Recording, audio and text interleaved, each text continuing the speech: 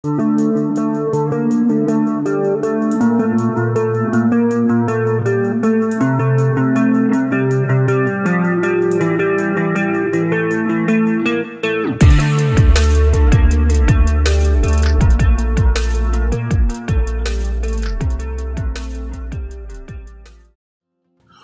welcome to Fame Ebong TV. Today, we will be addressing a very crucial issue in soap making, which is called trace. Now, in soap making, we have a term called trace, where we have the light trace, the medium trace, and the heavy or thick trace. So, during soap production, when you mix your oil with your lye or caustic soda, you'll realize that your soap goes through these three stages called the light trace, the medium trace, and the heavy or the thick trace. So now the problem that most soap makers encounter is that they usually reach a thick trace, and the moment your soap reaches a thick trace during production, it will be difficult for that soap to come out looking smooth from the mold. It won't look smooth because it got to a thick trace so in this video i will teach you how to achieve a medium trace because medium trace is actually the best trace to achieve. If you can reach a medium trace successfully your soap will easily enter into your mold smoothly and once the soap dries it will come out looking very smooth. So this the purpose of this video is to teach you how to achieve a medium trace and not a thick or heavy trace in order to achieve a medium trace you have to combine two types of oils. You have to actually combine a hard oil with a soft oil. You have to combine what again? Hard oil with soft oil. So in this video i'll be making use of one hard oil and one soft oil. And my hard oil will be palm kernel oil. Then my soft oil is going to be the groundnut oil when you mix hard oil with soft oils during your soap production you realize that you will easily achieve a medium trace. And the moment you can reach a medium trace your soap will come out very smooth. Your soap will be very smooth. You will not end up producing a rough soap. And the moment your soap is smooth it will have a very fine and shiny appearance. So medium trace is actually the goal in this video so this is my caustic soda. I've actually dissolved it in my water. And don't forget whenever you dissolve caustic soda in water it becomes very hot. When water mixes with soda the content becomes very hot. So after i've stirred this for my soda to have completely dissolved in this liquid i'm going to keep it aside for that temperature to cool down. After the temperature has cooled down you I, I will now use it to make my soap. So i've kept it aside for it to cool down. So while i'm waiting for this temperature to cool down i will start dissolving my color in water. I'm using white color in soap making make sure you've prepared everything your fragrance and your color has been prepared. You don't keep these ones. You don't neglect them. Prepare them ahead of time. So while i'm waiting for my soda to cool down i have already started dissolving my color so my color is going to be prepared and already i have kept my fragrance. My fragrance has been kept. My color has been dissolved. So everything has to be prepared in soap making because once you waste time in soap making your production will reach a thick trace. So you don't have to waste time. Everything has to be prepared because during that chemical reaction of your oil and caustic soda it goes through three stages which is the light trace the medium trace and the thick or heavy trace. So you don't want to waste time. You want to be quick about everything you're doing. So now this is my caustic soda solution. It has cooled down. Now i'm going to pour my oils the soft oil and the hard oil which is my okay first of all i'll add my sodium silicate to this soda solution. I've added my sodium silicate. Then i'm going to add my oils which is the soft oils and the hard oil. I will add the, the both of them the soft oils and the hard oil. Remember the purpose of this video is to teach you how to achieve a medium trace because the problem is that most soap makers encounter heavy or thick trace and the moment your soap gets to a thick trace it will be difficult to pour it into your mold. And when it is difficult to enter your mold the soap will come out having a rough appearance.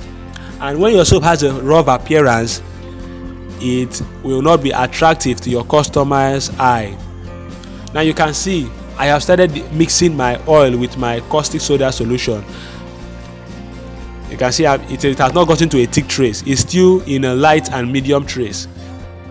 That's because i am using a soft oil and a hard oil. I will have enough time now to mix enough time to add my color and enough time to add my fragrance without this my mixture reaching a thick trace. This is the advantage of mixing oils or blending oils together bringing a hard oil with a soft oil. Palm kernel oil is a hard oil. Groundnut oil is a soft oil. I'm bringing these two types of oils together into my production so that my soap making will not reach a thick trace quickly. You can see i'm stirring and it's still very very soft implying that it has not reached a thick trace reason because i'm making use of what? Hard oils and soft oils. So i still have enough time to mix without the fear of my soap mixture reaching what? A thick trace. So that's the purpose of this video how to make soap without reaching a thick trace. Because thick trace is not the best trace to reach in soap making your soap will not come out having a smooth color. So that is my fragrance. I've added my fragrance now. I'm going to stir. So you can see the advantage of combining these oils both the hard and the soft oil. The soft oil will limit your soap from reaching a thick trace quickly. Then the hard oil will enable the soap to get hard after you poured it into your mold. That's the purpose of the both oils. Hard oil will help your soap to become hard without taking many days. Then soft oil will help your soap not to get to a thick trace quickly. That's the purpose of both oils. You can see my soap is still very watery and i'm going to pour it into my mold now.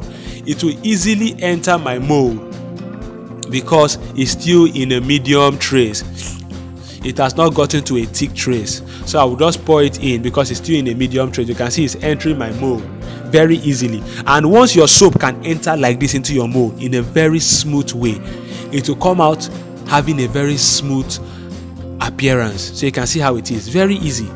So what's the trick here? The trick here is that i'm making use of what? Soft oils and hard oil. One soft oil and one hard oil. So you can try this. It's very simple. You will see the end result of this combination of oils. You will see the result of my soap to have a very smooth appearance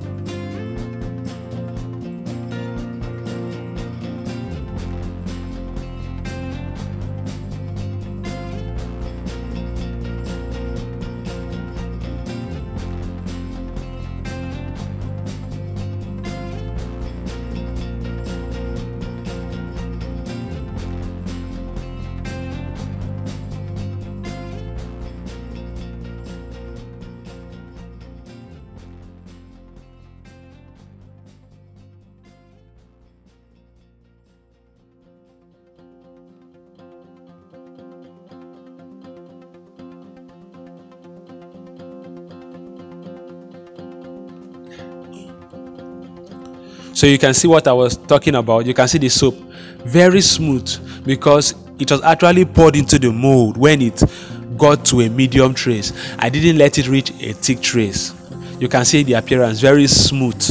So in order to achieve this kind of smooth texture uh, learn how to combine oils using one soft oil and the other a hard oil. We have examples of soft oils and hard oil. In my online classes where i teach soap making on whatsapp. I differentiate these oils.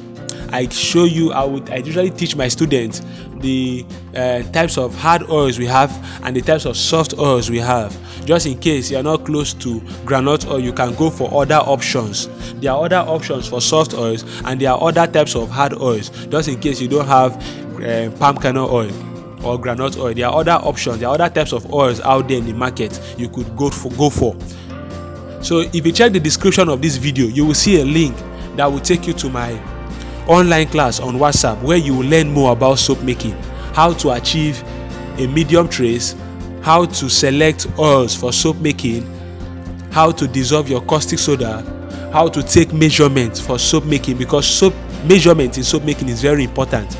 The moment you don't take the right measurement you will end up producing a very bad soap. So these are all what you will learn in my online class so check the description of this video. You'll see a link that will lead you to whatsapp where you can join the class. So you can see how smooth this soap is. Extremely smooth. This is the advantage of, of blending oils using one soft oil and the other oil a hard oil. And i've told you the purpose of both oils. One will cause your soap not to get to a thick trace quickly and while the other one will help your soap to get hard after it has been poured into your mold. So you can see here you can see the result of this. So i'm going to keep this soap for it to cure. I'm going to keep it. I'll keep them for them to cure. So thank you for watching this video. You can try this at home combining both soft oils and hard oils. Then don't forget to join my online class if you want to still learn more on soap making. You check the description of this video. There will be a link where you can join my online class on whatsapp so see you on our next video and goodbye